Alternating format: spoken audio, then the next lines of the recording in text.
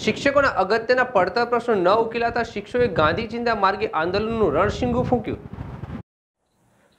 શિક્ષકોના અગત્યના પડતર પ્રશ્નો જેવા કે પાંચ વર્ષનો ફિક્સ પગારની નોકરી તમામ હેતુઓ માટે, સરંગ ગણવા બાબતે તથા સાતમા પગાર પંચનું એરિયર્સ પાંચ હપ્તામાં ચૂકવવા સંદર્ભથી જાહેરાત કરેલ, આમ છતાં શિક્ષકોને છેલ્લા ત્રણ વર્ષના હપ્તા રોકડમાં ચૂકવાયેલા નથી, જે તાત્કાલિક ચૂકવવાની માંગ કરી હતી.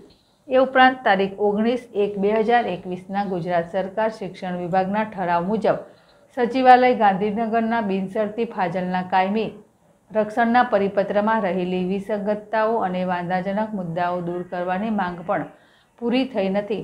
આ ઉપરાંત સીપીએફ અને વર્ધિત પેન્શન યોજના નાબૂદ કરી જીપીએફ અને જૂની પેન્શન યોજનાનો અમલ કરવાની માંગ પણ કરાઈ છે.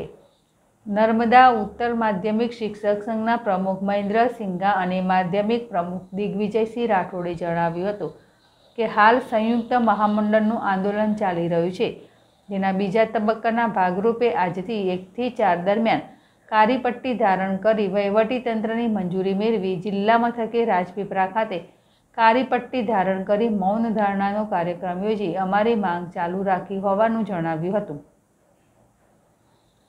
દીપક જગતાપ જેડેશ્રી રાજપીપળા.